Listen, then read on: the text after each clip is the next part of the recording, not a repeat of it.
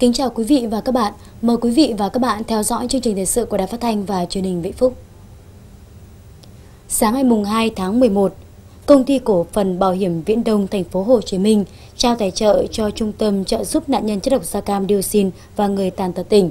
Đến dự có đồng chí Dương Thị Tuyến, Ủy viên Ban Thường vụ tỉnh ủy, Phó Chủ tịch Ủy ban nhân dân tỉnh, lãnh đạo Sở Lao động Thương binh và Xã hội.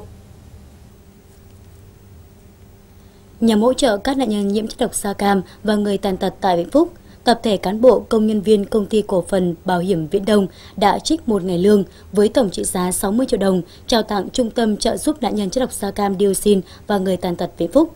Số tiền tuy không lớn nhưng thể hiện sự quan tâm chia sẻ của tập thể cán bộ công nhân viên công ty cổ phần Bảo hiểm Viễn Đông, động viên những nạn nhân chất độc da cam dioxin vượt qua khó khăn vươn lên trong cuộc sống. Tại buổi trao tài trợ, Hội Chữ thập đỏ Vĩnh Phúc và công ty cổ phần bảo hiểm Viễn Đông thành phố Hồ Chí Minh đã ký giao ước kết nghĩa. Cũng nhân dịp này, ban tổ chức đã trao gần 50 xuất quà, mỗi suất trị giá 500.000 đồng cho các nạn nhân chất độc da cam dioxin đang phục hồi chức năng tại Trung tâm trợ giúp nạn nhân chất độc da cam dioxin và người tàn tật tỉnh.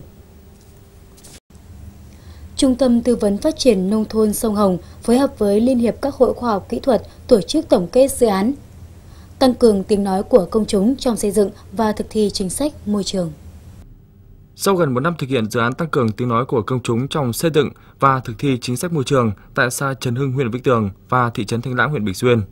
Trung tâm Tư vấn Phát triển Nông thôn Sông Hồng đã tổ chức được 14 lớp tập huấn văn bản chính sách pháp luật về môi trường. Hai cuộc thi truyền thông về môi trường bằng hình thức sân khấu hóa cùng 14 hội nghị lấy kiến người dân về dự thảo quy chế bảo vệ môi trường cấp xã thị trấn và dự thảo sửa đổi luật bảo vệ môi trường. Các hoạt động này đã góp phần nâng cao nhận thức về pháp luật và chính sách môi trường, tạo sự chuyển biến về ý thức cũng như hành động của người dân trong bảo vệ môi trường. Đồng thời nâng cao trách nhiệm của lãnh đạo các cấp chính quyền địa phương đối với công tác bảo vệ môi trường và vai trò của đội ngũ cán bộ phụ trách công tác môi trường. Đặc biệt, vai trò và tiếng nói của người dân tham gia đóng góp ý kiến vào các chính sách, quy định về bảo vệ môi trường cấp cơ sở cũng từng bước được tăng cường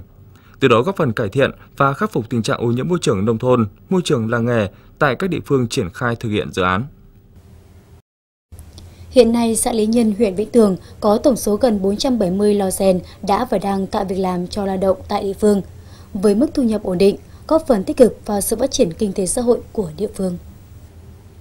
Để đáp ứng nhu cầu thị trường, giải phóng sức lao động thủ công, các hộ làm nghề rèn xã Lý Nhân đã đầu tư nhiều máy móc sản xuất hiện đại như máy búa, máy cán hiện đại, lò nung theo tiêu chuẩn. Nghề rèn không chỉ là nguồn thu nhập chính của đa số hộ gia đình, giải quyết việc làm cho 100% số lao động trong làng, mà còn tạo việc làm thường xuyên cho nhiều lao động tại các vùng lân cận. Với chính sách phát triển làng nghề hợp lý, kinh tế Lý Nhân đã có những bước tăng trưởng vượt bậc.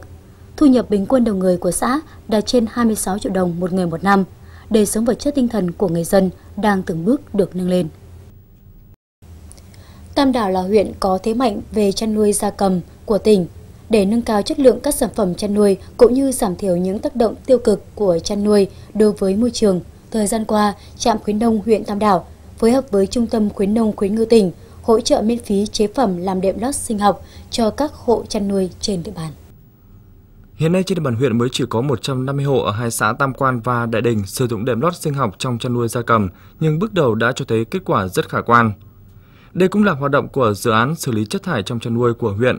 Trong đó, mỗi hộ tham gia dự án được cấp miễn phí 25 kg chế phẩm sinh học. Qua cái việc triển khai của các cái hộ cho đến nay thì thấy rằng là các cái hộ triển khai cũng đã đem lại cái hiệu quả tích cực. Ờ, đặc biệt là nó giảm thiểu cái ô nhiễm môi trường hai nữa là giảm cái chi phí trong chăn nuôi cái thứ ba là, là giảm cái uh, bệnh tật trong uh, chăn nuôi gà với kỹ thuật làm lớp lót đơn giản, nguyên liệu dễ kiếm như mùn cưa, chấu, men vi sinh, nên đệm lót trong chăn nuôi gia cầm có thời gian sử dụng từ 6 tháng đến 1 năm. Có thể thấy đây là một phương pháp đem lại hiệu quả cả về mặt kinh tế và môi trường. Được uh, sự quan tâm của khuyến nông huyện và xã à, về vấn đề môi trường. Cho nên đã cấp cho tôi một số chế phẩm à, sinh học làm đệm lót cho trong chăn nuôi. Thì tôi có nuôi à, một số lợn và một à, số gà thả, thả vườn. Thế trong khi sử dụng tôi thấy kết quả của cái chế phẩm là rất tốt. Thì đã tránh được cái mùi hôi của chuồng và và tạo mọi cái cái cái khả năng để làm uh, cái môi trường trong sạch. Việc sử dụng đệm lót sinh học mở ra hướng đi mới trong phát triển chăn nuôi ở huyện Tam Đảo, tạo ra một hình thức chăn nuôi mới hướng tới sản phẩm sạch, đưa chăn nuôi phát triển theo hướng bền vững.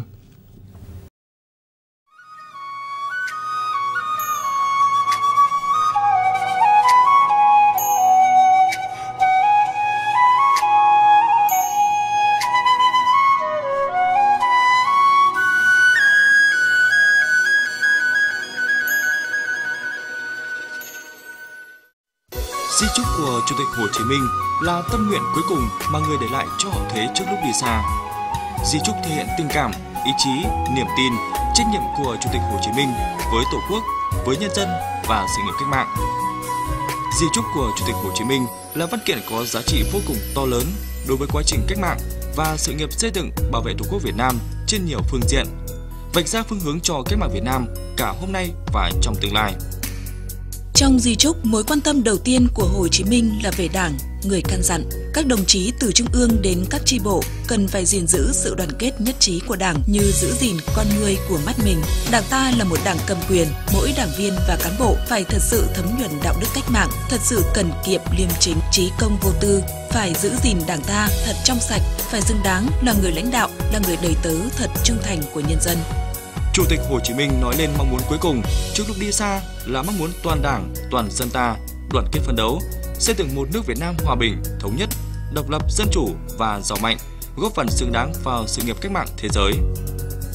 45 năm qua, di trúc thiêng liêng của Chủ tịch Hồ Chí Minh luôn là nguồn cổ vũ, động viên toàn Đảng, toàn dân, toàn quân ta phát huy tinh thần yêu nước, đoàn kết toàn dân tộc, vượt qua thử thách, giành những thắng lợi vẻ vang, đưa cả nước bước vào thời kỳ mới, thời kỳ đẩy mạnh công nghiệp hóa, hiện đại hóa và hội nhập quốc tế. Kỷ niệm 45 năm thực hiện di trúc của Chủ tịch Hồ Chí Minh là một dịp để chúng ta tiếp tục ôn lại lời căn dặn tầm huyết cuối cùng của lãnh tụ kính yêu, anh hùng dân tộc, danh nhân văn hóa thế giới trước lúc đi xa. Đảng bộ và nhân dân các dân tộc tỉnh Vĩnh Phúc luôn khắc ghi lời dạy của Bác, quyết tâm hoàn thành tốt mọi chỉ tiêu phát triển kinh tế xã hội, đảm bảo quốc phòng an ninh, giữ gìn an ninh trật tự, đảm bảo an sinh xã hội. Tiếp tục đẩy mạnh việc học tập và làm theo tấm gương đạo đức Hồ Chí Minh, xây dựng tỉnh nhà ngày càng giàu đẹp, phồn vinh như lời căn dặn của người khi về thăm Vĩnh Phúc. Phải làm cho Vĩnh Phúc thành một trong những tỉnh giàu có, phồn vinh nhất ở miền Bắc nước ta.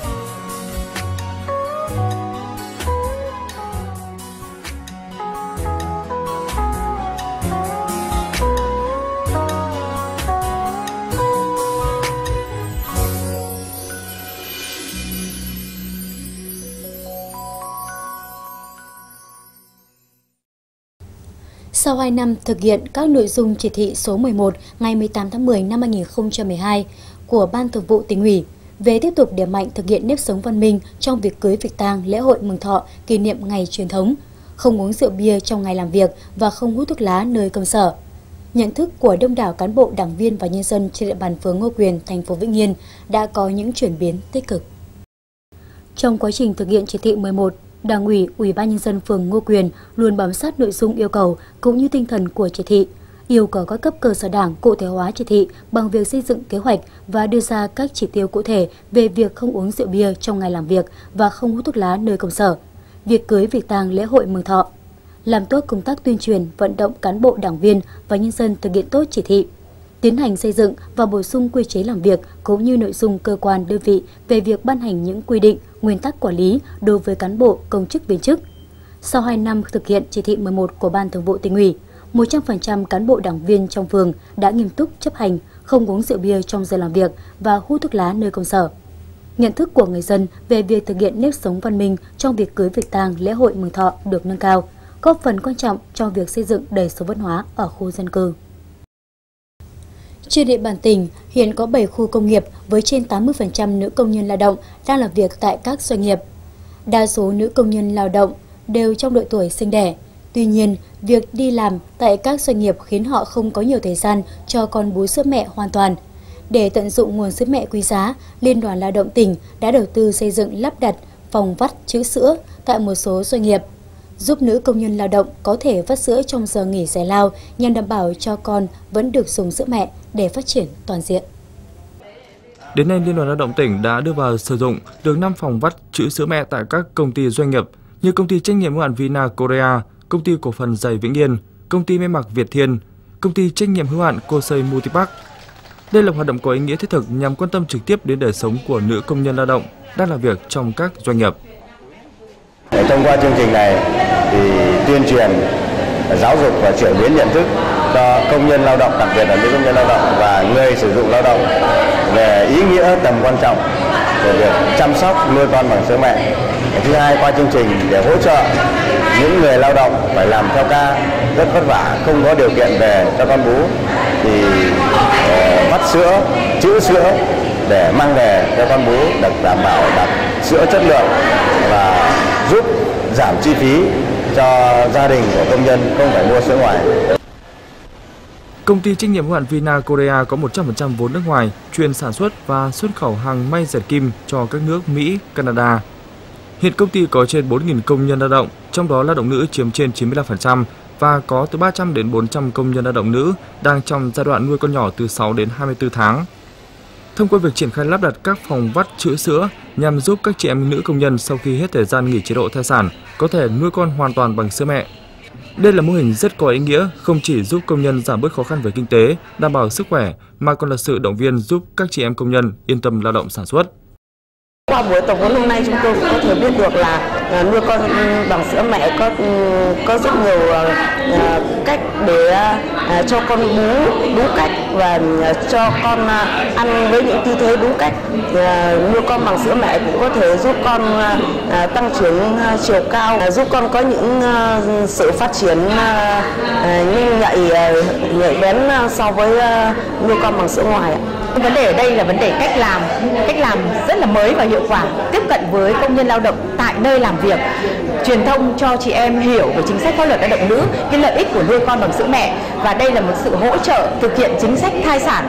Khi mà nhà nước đã uh, đưa cái thời gian nghỉ thai sản cho chị em từ 4 tháng đến 6 tháng thì đây là một hình thức hỗ trợ. Và chúng tôi đánh giá rất cao cái sự ủng hộ và cái sự uh, thúc đẩy cái chương trình hiệu quả của Liên đoàn Lao động tỉnh Vĩnh Phúc. Trong năm 2014, Liên đoàn Lao động tỉnh tiếp tục triển khai xây dựng 10 phòng vắt chữ sữa cho công nhân lao động. Hiện nay với 5 phòng vắt chữ sữa tại 4 công ty trên đã mang lại niềm vui, niềm phấn khởi cho những nữ công nhân đang nuôi con nhỏ. Có sức lan tỏa mạnh mẽ tới những nữ công nhân đang trong độ tuổi mang thai. Những năm qua, cùng với các nguồn vốn đầu tư của nhà nước cho việc tu bổ tôn tạo các di tích lịch sử, bảo tồn các giá trị văn hóa truyền thống của dân tộc, chùa Tích Sơn, thành phố Vĩnh Yên đã triển khai tốt công tác xã hội hóa, huy động nguồn vốn để tu bổ tôn tạo di tích lịch sử quốc gia chùa Tích Sơn. Dự án công trình xây dựng mở rộng tu bổ tôn tạo chùa Tích Sơn, thành phố Vĩnh Yên được Ủy ban nhân dân tỉnh phê duyệt trên 8.800 m2 với tổng nguồn vốn đầu tư 42 tỷ đồng. Dự án được chia làm 3 giai đoạn, thời gian thực hiện dự án từ năm 2012 đến năm 2017 trong giai đoạn 1 của dự án, nguồn ngân sách nhà nước đầu tư trên 10 tỷ đồng để xây dựng các hạng mục công trình như tam quan, các chuông, nhà giảng đường, nhà tăng, nhà phương trượng, nhà trụ trì, nhà khách, nhà mẫu và nhà điều hành. Đến nay, sau hơn một năm triển khai xây dựng, cùng với nguồn vốn đầu tư của nhà nước, Chùa Tích Sơn đã huy động được gần 10 tỷ đồng từ nguồn xã hội hóa trong đó chủ yếu là sự hảo tâm công đức, đóng góp của người dân Phật tử gần xa, các tổ chức, các doanh nghiệp trong và ngoài tỉnh để Chùa Tích Sơn hoàn thành các hạng mục công trình trên. Chùa Tích Sơn dự kiến sẽ khánh thành các hạng mục công trình trên trong tháng 11 năm 2014, nhằm đáp ứng đời sống tâm linh của nhân dân Phật tử xa gần. Liên đoàn Lao động tỉnh tổ chức trao tiền hỗ trợ xây nhà máy ấm công đoàn cho chị Nguyễn Thị Thuận là giáo viên trường trung học phổ thông Yên Lạc, huyện Yên Lạc. Chị Nguyễn Thị Thuận, 54 tuổi ở thôn Nhật Chiêu, xã Liên Châu, huyện Yên Lạc, thuộc diện hộ nghèo của địa phương, có hoàn cảnh rất khó khăn. Bản thân chị là phụ nữ đơn thân, nuôi hai con nhỏ, không có nhà ở. Qua quá trình khảo sát thực tế tại các gia đình đoàn viên công đoàn có hoàn cảnh đặc biệt khó khăn về nhà ở trên địa bàn tỉnh, Liên đoàn Lao động tỉnh đã quyết định trích từ quỹ mái ấm công đoàn để hỗ trợ xây dựng nhà ở cho chị Thuận số tiền 30 triệu đồng. Căn nhà được xây dựng với diện tích 60 m2 theo kiểu cấp 4. Dự kiến ngôi nhà sẽ được hoàn thành vào tháng 11 năm nay. Đây là một trong những hoạt động thiết thực hướng về cơ sở, nằm trong chuỗi các hoạt động của tháng công nhân năm 2014 nhằm góp phần chăm lo đời sống cho những đoàn viên công đoàn có hoàn cảnh đặc biệt khó khăn trên địa bàn tỉnh. Hội Văn học Nghệ thuật Vĩnh Phúc vừa tổ chức kết nạp mới 13 hội viên thuộc các lĩnh vực văn xuôi, thơ, văn nghệ dân gian, lý luận phê bình, âm nhạc, sân khấu, mỹ thuật, nhiếp ảnh và hội họa. Đây đều là những hội viên có thành tích xuất sắc trên các lĩnh vực văn học nghệ thuật được tuyển chọn từ các chi hội thành viên. Đến nay, tổng số hội viên Hội Văn học Nghệ thuật Vĩnh Phúc có 175 người. Việc trở thành hội viên Hội Văn học Nghệ thuật Vĩnh Phúc sẽ tạo cơ hội cho những hội viên mới được giao lưu học hỏi, hoạt động trong điều kiện môi trường rộng hơn. Điều đó sẽ tạo điều kiện để các hội viên đóng góp nhiều hơn cho hoạt động văn học nghệ thuật của tỉnh nhà. Cảnh sát phòng cháy và chữa cháy tỉnh vừa tổ chức lớp tuyên truyền bồi dưỡng nghiệp vụ phòng cháy chữa cháy cho các học viên thuộc 18 cơ sở loại 1 trên địa bàn tỉnh. Tại lớp tuyên truyền, cán bộ cảnh sát phòng cháy chữa cháy tỉnh đã giới thiệu một số nội dung cơ bản của luật phòng cháy chữa cháy và các văn bản hướng dẫn thi hành của chính phủ và Bộ Công an. Phương pháp tuyên truyền, xây dựng phong trào quần chúng tham gia phòng cháy chữa cháy, lập và thực tập các phương án chữa cháy tại cơ sở, thao tác vận hành các phương tiện chữa cháy tại chỗ. Qua lớp tuyên truyền giúp các học viên nắm vững những vấn đề cơ bản trong công tác đảm bảo an toàn phòng cháy chữa cháy, trên cơ sở đó vận dụng và xử lý các tình huống cháy nổ có thể xảy ra. Để phát hiện kịp thời, không để lọt tội phạm và không làm oan người vô tội, trong thời gian qua, Viện Kiểm sát Nhân dân huyện Tam Dương đã triển khai các giải pháp đột phá trong công tác kiểm sát, giải quyết tố giác, tin báo tội phạm và kiến nghị khởi tố của cơ quan điều tra đảm bảo đúng trình tự thủ tục và thời gian luật định. Qua kiểm soát trực tiếp việc giải quyết tố giác, tin báo tội phạm và kiến nghị khởi tố tại cơ quan điều tra công an huyện Tam Dương cho thấy, mọi hành vi phạm tội đều được phát hiện, xử lý kịp thời, hạn chế bỏ lọt tội phạm và không làm oan người vô tội. Chúng tôi có đưa cái công tác kiểm soát việc giải quyết tin báo tố giác tội phạm và kiến nghị khởi tố làm công tác trọng tâm của năm 2014 là cái khâu đột phá. À, Thế và kết quả, tính đến thời điểm là tháng, hết tháng ờ, 9 năm 2014 và bây giờ là trung tuần tháng 10 2014 thì cái tỷ lệ giải quyết tin báo tố giác tội phạm chúng tôi là cũng đạt từ 95 đến 98 phần trăm. Đảm bảo giải quyết chưa để, đúng thời hạn, đúng quy định pháp luật, không để xảy ra oan sai hoặc bỏ lọt tội phạm trong quá trình kiểm sát, việc tiếp nhận và giải quyết tin báo tố giác tội phạm và kiến nghị khởi tố, Viện Kiểm sát Nhân dân huyện Tam Dương còn chú trọng xây dựng tốt mối quan hệ phối hợp với các cơ quan, công an, tòa án để phổ biến quán triệt, triển khai thực hiện các chỉ thị, nghị quyết của các cấp trong công tác giải quyết tin báo tố giác tội phạm. Đặc biệt, xây dựng quy chế phối hợp liên ngành và bàn biện pháp phối hợp thực hiện chặt chẽ nhằm đẩy nhanh tiến độ giải quyết, đảm bảo nhanh chóng kịp thời, đúng theo quy định của pháp luật cơ quan điều tra viện kiểm sát huyện Tam Dương cũng đã ký quy chế phối hợp đấy, trong việc giải quyết tố giác tin báo tội phạm để nhằm tăng cường cái quan hệ phối hợp và cái trách nhiệm của mỗi cơ quan và cá nhân đấy, của kiểm sát viên, điều tra viên và cán bộ được phân công đấy, làm công tác giải quyết tố giác tin báo hạn chế thấp nhất cái việc à, giải quyết tin báo chậm hoặc là bỏ lọt tội phạm, bỏ lọt người phạm tội, tránh những oan sai. Với những kết quả trong công tác kiểm soát việc tiếp nhận và giải quyết tố giác tin báo tội phạm và kiến nghị khởi tố, đã góp phần nâng cao trách nhiệm công tố trong hoạt động điều tra, gắn công tố với hoạt động điều tra, đáp ứng yêu cầu cải cách tư pháp. Trên địa bàn tỉnh, hiện có 17 đường dân sinh giao cắt với đường sắt, trong đó thành phố Vĩnh Yên có 6 điểm, thị xã Phúc Yên có 1 điểm, Vĩnh Tường có 6 điểm, Bình Xuyên có 4 điểm. Trong tổng số 17 điểm giao cắt trên mới chỉ có 7 điểm giao cắt có cảnh giới và lực lượng tự quản túc trực đảm bảo giao thông. Một số điểm giao cắt như km 43 cộng 626, km 48 cộng 770, km 54 cộng 678, km 56 cộng 106 bị hạn chế tầm nhìn. Một số điểm giao cắt khác nguy hiểm nằm gần khu dân cư, Mật độ phương tiện tham gia đông nhưng chưa được bố trí phương tiện và lực lượng cảnh giới. Các ngành đơn vị chức năng đã có nhiều giải pháp bảo đảm an toàn giao thông đường sắt, nhưng thực tế cho thấy tình hình trật tự an toàn giao thông ở loại hình vận tải này vẫn diễn biến phức tạp. Mặc dù chưa có vụ tai nạn nghiêm trọng nào xảy ra tại các điểm giao cắt trên, song nguy cơ tiềm ẩn mất an toàn giao thông có thể xảy ra bất cứ lúc nào. Do vậy, bên cạnh việc tuyên truyền nâng cao ý thức chấp hành an toàn giao thông đường sắt cho người dân, về lâu dài, cần có giải pháp phù hợp để tăng cường bảo đảm an toàn giao thông tại các điểm giao cắt giữa đường bộ và đường sắt nêu trên.